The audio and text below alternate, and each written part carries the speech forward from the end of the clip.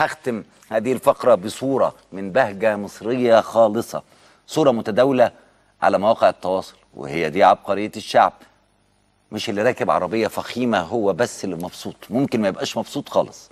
ممكن حد زي اللي أنتوا هتشوفوهم دول الستات الجميلة اللي بتبتسم دي اللي فيه ضحكة من القلب وهم راكبين موتوسيكل.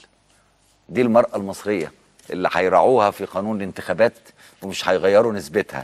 دي المرأة المصرية المهدر حقها والمهانة والمتهمة واللي بتتعاين لأنها تخينة أو رفيعة طويلة أو قصيرة مش بتقيم حسب شغلها وأدائها بابتسامتها. لما نزلت في 30 يونيو ولما كانت موجودة في 25 يناير ولما وقفت لحد ما هذا الشعب خد استقلاله وخد حريته بس لسه ما خدش حقه.